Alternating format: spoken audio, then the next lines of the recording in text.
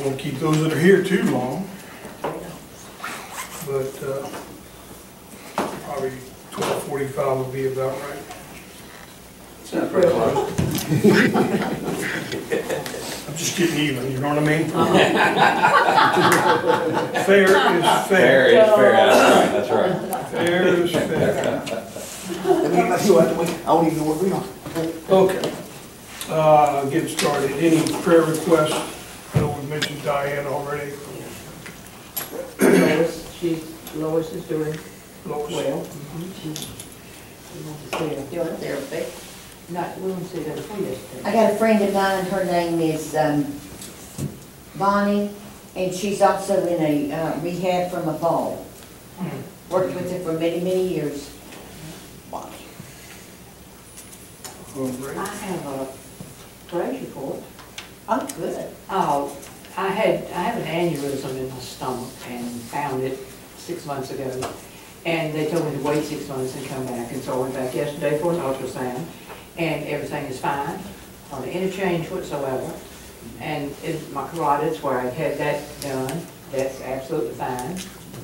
And aside from the fact that my knee wants to go in one direction, and I want to go in another, I'm doing okay.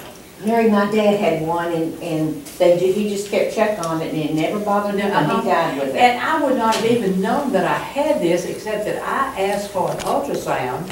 I asked for a CT. CT scan after they had done um, uh, something anyway. And they found this when they did the the CT scan. I would never have known it if we hadn't had that. And I was the one that asked for the CT scan. So if you don't want to find out anything about yourself, don't ask for a test.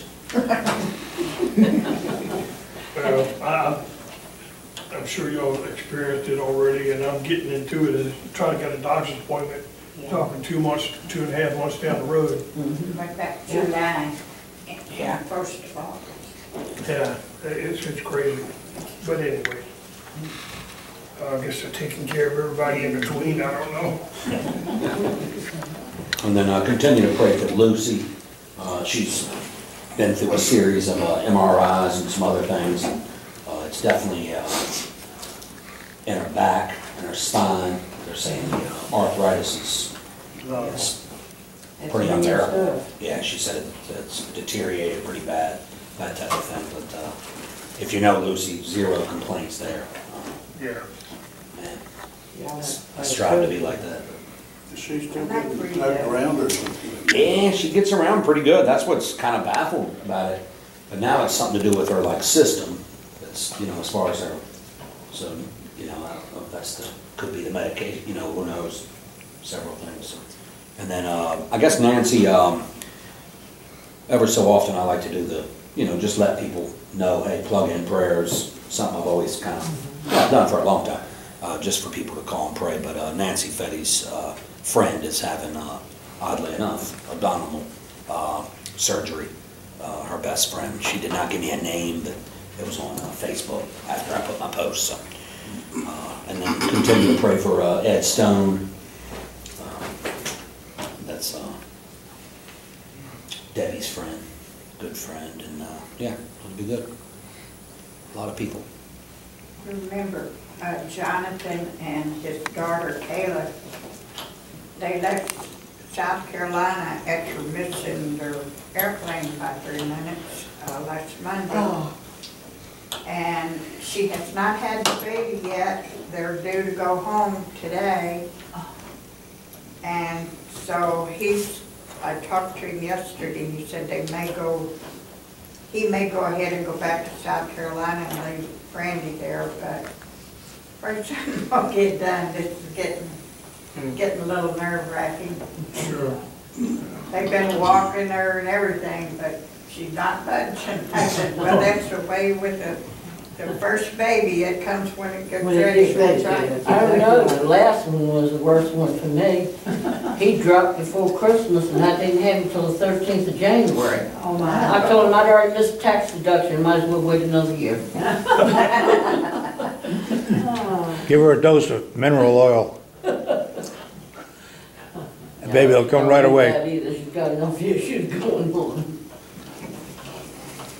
Or any others?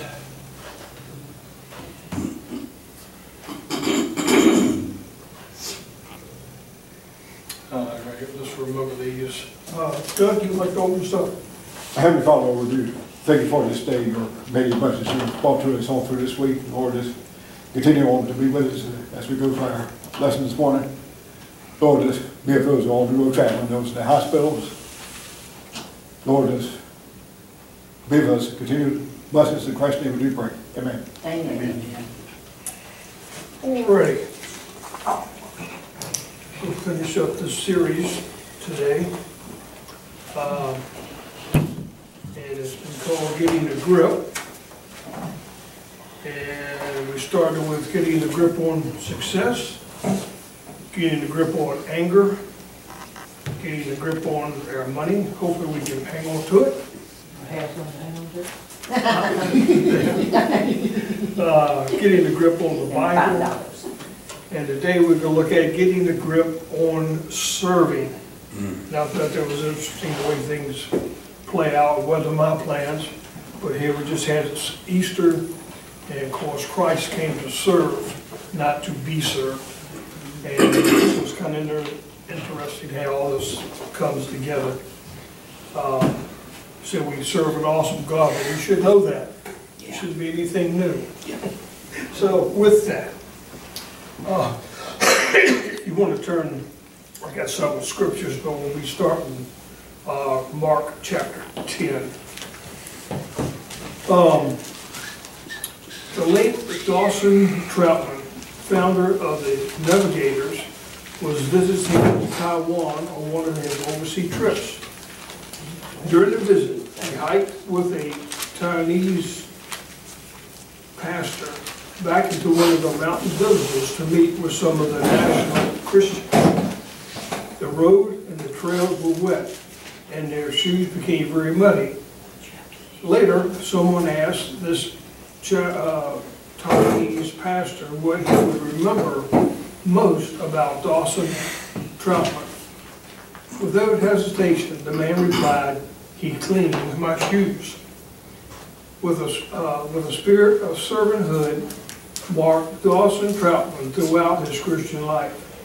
He died as he lived, actually giving his life to rescue someone else from drowning. Uh, I don't know if we need to go to that extreme. Hopefully, if something like that came up, we wouldn't hesitate. We would jump right in and do what we needed to do. But as again, the scripture tells us, we are to be servants to the Lord. So with that, Mark chapter 10, verse 45. For even the Son of Man did not come to be served, but to serve, and to give his life uh, a ransom for many. And the question, what was Christ's purpose in coming to this world? And of course, Christ proposed excuse me, Christ's purpose was not to be ministered to, but to minister or to serve. He did so by giving his life as a ransom for many. And again, none of this is going to be new, maybe just a, re, a reminder for us. Uh, the second question, what are some ways in which Jesus served people? Anybody would like to chirp- chop, chime in on that one? What, what has Christ done for us?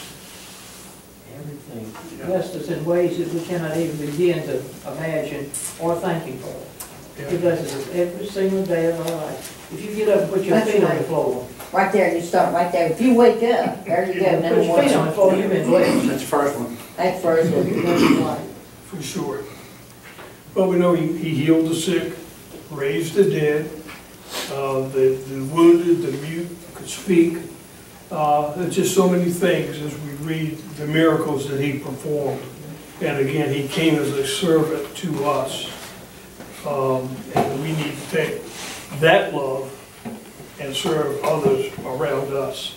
George, he came, not because he had to, No, but because he was following his father's will. He was doing what his father wanted done, and, and that's how he chose to do it.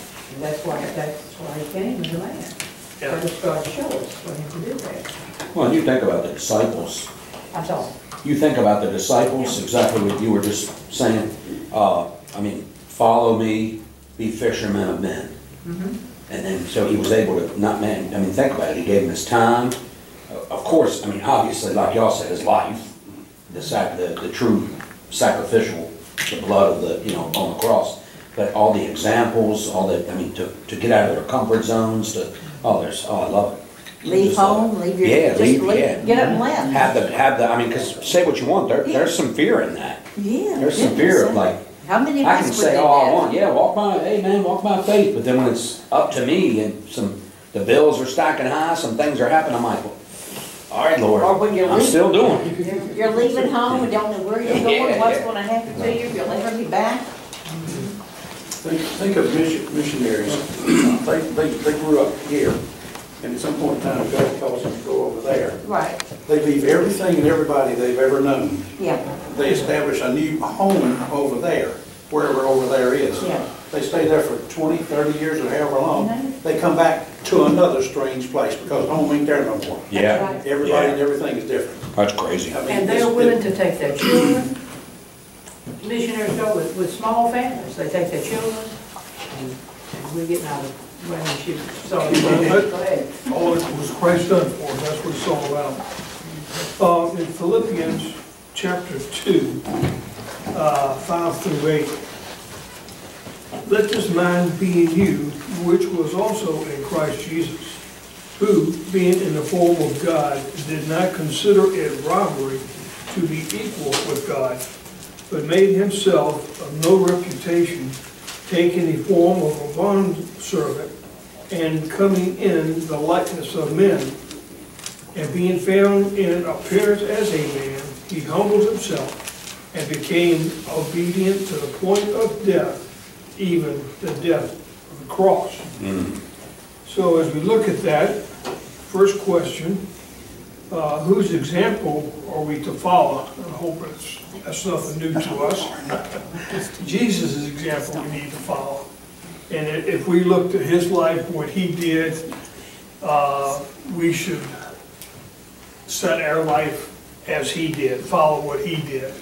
And uh, not of these athletes and, you know, famous people, whatever, but to follow Christ. And we know we'll be on the right track doing the right thing.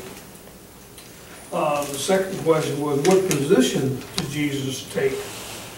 Um, He took the position of a servant.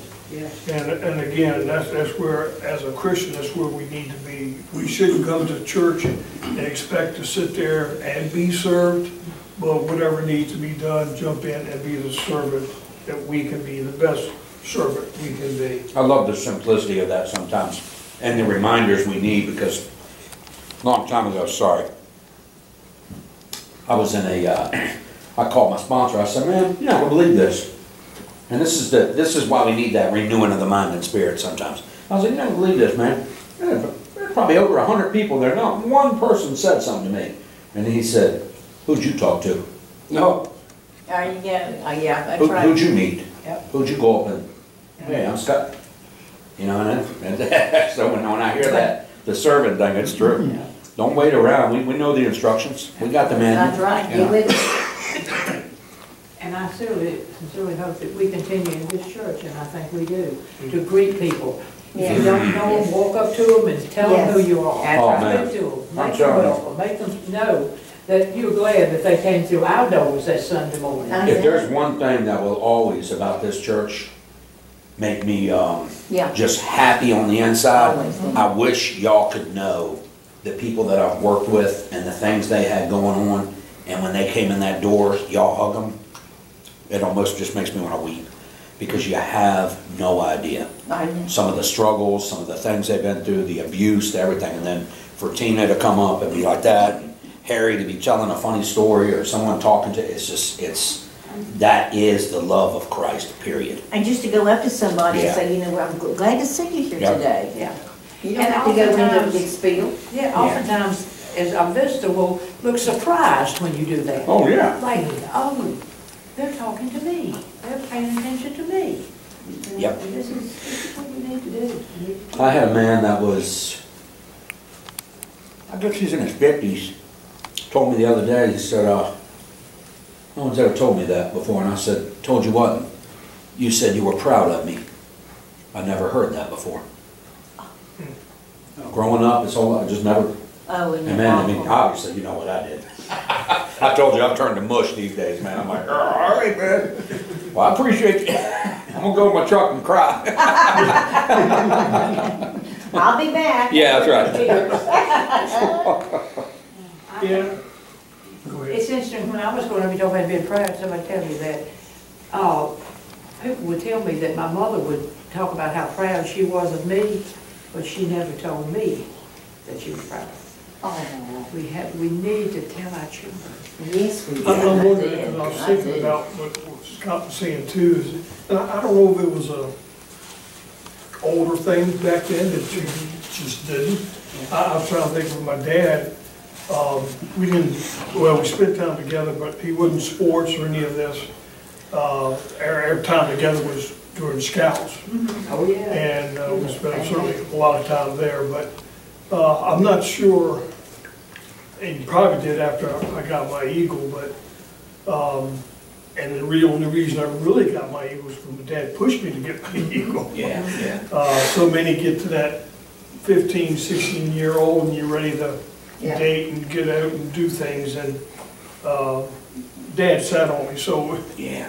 it was more him than it was me. Well, and I think we're hard, and, uh, sorry, I'll turn it on myself. I can be hard sometimes on my father, and, and many of you know we had a rocky past and things like that, but just what your father was doing with you, sometimes that is the only love they know to share.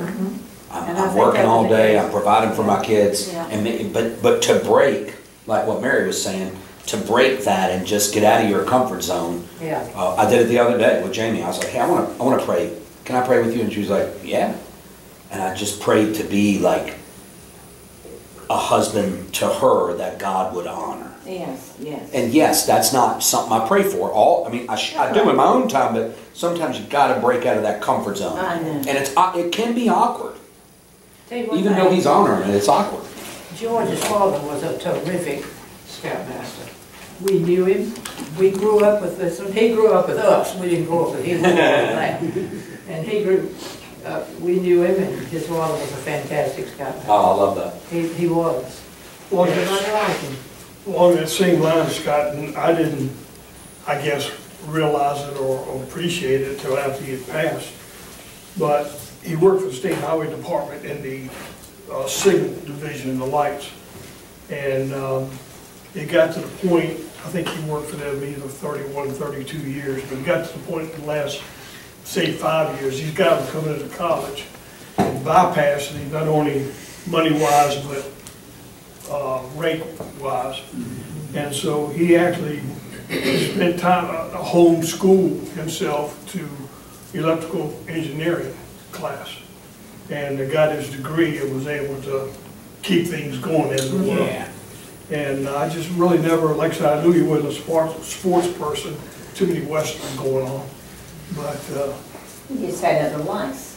yeah, That's fine. Yeah. and so, but usually the weekend, we get things done, of course, but then he had studying and papers and all that to do. And I guess, you know, of course, growing up when you're, I left home, I guess, when I was twenty, but, um, don't realize the price that they really pay us. Oh yeah. It- It's funny, you leave home and you get to 20, 21, you realize how smart they really were. Oh, there's no doubt about that. That's right, you Yeah. find out they You weren't try to doing teach them that. along the way, but they just won't listen. Or how, yeah, and or how hard it how hard it can be.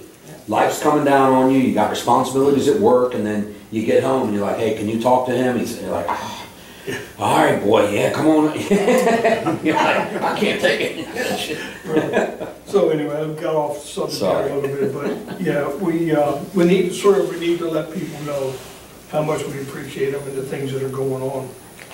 Um, All right, in this next series is Christians have been set free in Christ. Do, I'm sorry, not to do whatever they please, but to serve. And if you want to try to keep up, uh, I've got these marked, I'm going to Romans chapter six.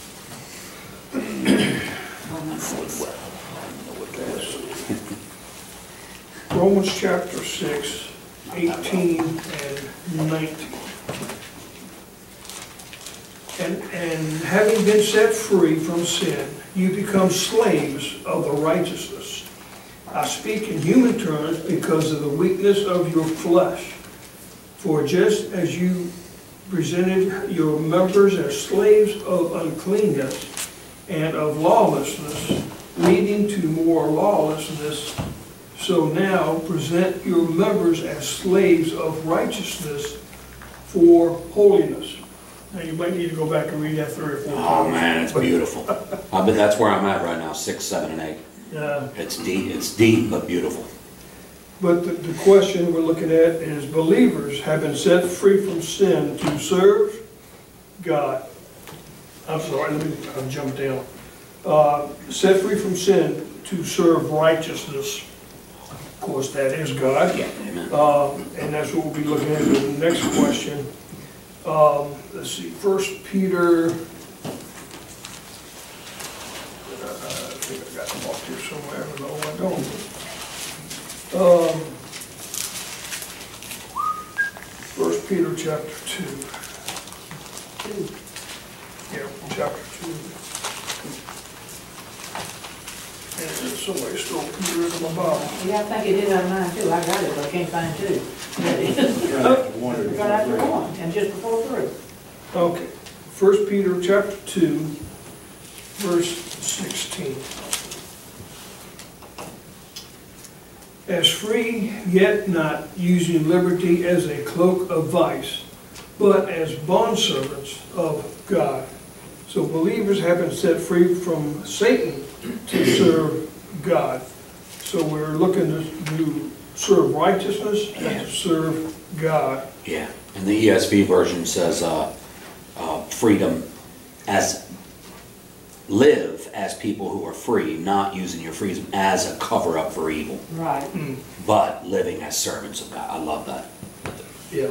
And don't use your liberty to lord it over somebody that's not saved. No, Don't, don't say, well, I'm, you know, I'm better than you, I- I've got it all together. That's not true. I saw, The only uh, thing, only difference is that I'm saved and that one is not, and he can get saved just like me. exactly. There was a person on Facebook and really, man, I, and I got a lot of you. He kind of, he's, he's a friend that uh, I used to uh, cook with, but it said uh, he was uh, making, uh, well, it's, it's mockery. There's no other way to put it. But it said, um, what did it say? Rapture card, uh, something about because of the eclipse, people were saying it could be the end of the world. He was mocking that, and he said, uh, and that uh, he's, he said he had his stamps, and the tenth one is free. Like he, he was making mockery of it. Mm-hmm. And I just, I sat, I just said, all right, Lord, this is what they did to you. I can't be exempt from it. Mm. I can get into a huge Facebook debate with them, or I can just say, Lord, I'm praying for him. That's right. I do know he's not a That's the bad best way. person. Mm-hmm. You know, he's not a bad person, but he's That's just, his mind is on the ways of the world. And we're a saved by grace, and it had nothing to do with us. That's Yeah. right. Had nothing to do with us. For sure. And then in Galatians 5, verse 13, um, For you, brethren, have been called to liberty, only uh, to not use liberty as an opportunity for the flesh, but uh, through love serve one another. And again, the question being, believers have been set free from self to serve, and that's one another. And the Bible tells us we need to pray and serve one another. Um, I had something else to say there, I forgot what it was. Oh, they're coming back, we'll, we'll hit it, and then we'll just keep going. Um, must be getting low, I don't know. Second Corinthians, Second Corinthians four, verse five. For we do not preach ourselves, but Christ Jesus the Lord, and ourselves your bondservants for Jesus' sake. And again, whatever we do, we are to preach God's word, to get God's word out, to share God's word. And um, we'll be looking at some things here. Um, Okay, yeah. What did, what did Paul call himself in that, in, in Second Corinthians? And it was a servant for God's sake. Mm-hmm. And as Christians, we all ought to be servants for God's sake, to get his word out, to share his word, to share a testimony, the things that we've been through. You know, so, so many people say, well, I, I can't talk, I don't know scripture, or this, that, and the other. If you're saved, you should have a testimony. Absolutely. And if you don't know what it is, you might want to check your salvation. And I don't know exactly where it is in scripture, but it tells us that. Yeah. Uh, have a word for somebody. When they ask you about your faith and what you believe, have a word to tell them. Yeah. Be able to tell them what, you know, why Yeah. it's, it's this way. It, it should be a change that you know, know what's going on, That's right. that's for sure. Um, and then Second Corinthians twelve, verse fifteen. And I will verily gladly spend and be spent for your souls. Though the more abundantly I love you, the less I am loved. But be that as it may, I did not burden you, nevertheless, being crafty, I taught you by cunning. Um, and Paul's saying, how did Paul express his attitude of servanthood? And Paul says that he will gladly be spent for the cause of Jesus, even when it doesn't seem to pay off. Note, he loves more abundantly than is loved less. And I guess one of the things you have to read three or four times to understand there. Uh, I'm not saying it's contradicting it, but sometimes it's just not black and white like in, in most cases. But we, we are to be the servants for the Lord. We're supposed to love and serve as Christ has loved us. And of course, we know he went to the cross uh, for us. It wasn't for him. He was perfect. And so, And George, that was already planned ahead of time. uh, oh yeah, God worked that out, and that was his plan, and, and in order for all to be saved and not have to continue to Yeah. shed animals' blood and all this, this, this was a plan that he had already made. And when that little baby was laying in that manger, he was in the shadow of a cross. Was he not? Amen. Yes, indeed. for sure. Got that right. Um, Yeah, I mean, we, we studied Moses in Sunday school and just everything Oh, that yeah. we read about. That's right. All Yeah, Just praise lines right up with, Well, that's why it's so hard for me, and I won't get off too, I won't go down this hole right now, but, um, it's so hard for me sometimes because I've, t- I've actually talked to, well, I'll be nice, educated people that say, you know, I, I believe, and they know, uh, the Old Testament. Uh, But they just, they don't believe that. And they know some of the new, they claim, and I say claim because they don't believe that, they believe it's, that, they were like, I don't believe in the new covenant. And I was You know what I like, tell- that's impossible. Oh, I'm sorry. No, you're good. I tell people like that, the Old Testament tells you what was wrong, and the New Testament tells you what to do about it. Yeah, that's I right. like that. Amen. yeah. And then as we kind of wrapping up here a little bit, uh, Author, I- I've been taught that, you know what I'm saying? That's not right, man. And I'm, I'm gonna read what I got here, and if y'all want to chime, chime in with that, you can. It says, how would you describe a good servant? And of course, a good servant is humble, unselfish, willing to work, loving, and it could go on from there. Yeah. Um, we have one sitting right over there that preaches that way. yeah, yeah. And you know, without the love of Christ, if we don't understand that, we don't understand anything. I'm sorry. That's right. You can't. like Brother David says, if you don't have the faith and the love that Christ went to the cross for, you might want to go back and do some more reading and studying. Uh, that's what it's all about, and, Yeah. how can we love if we don't understand Christ's love for us? Yeah, yeah, no, that's a good point, yeah. And so, No. that's, uh, I mean, if you think about it, if you get deep with that, it's impossible. Yeah, Someone can't truly love, and I don't care if it's their, I'm sorry, outside of the love of Christ, what he offers, what he pours in and what he did on the cross. yeah, Even, even if it's a, a non-believer's son or daughter, and I know that's probably deep water for, for some people, and I won't apologize for it though, because I know I didn't until I understood, wait a second, this depth of agape love, I can, I, that's, I can't fathom it without knowing the sacrifice that he, that he paid, what he did Yeah. at Calvary, yeah. Then you're gonna be like, all right, hold on. Mm-hmm. I, now I know love, Yes, because that's true. That's love. that's, that's where it is. So I'm gonna leave you with a couple questions. Do not blurt out, think about it, meditate on it. I don't wanna know about it. Keep it between you and the Lord. Yeah. If you have any questions later, you can check with them. Uh, And they are. Serving is, is every believer's responsibility. And then, the second thing we need to think about, work on, would you, would you qualify as a good servant of Jesus Christ? And so I'm- hoping these lessons have been, been good. It's been some reminders for us. Uh, I think sometimes we do get just bogged down with things going on that we forget some of these things. Yeah.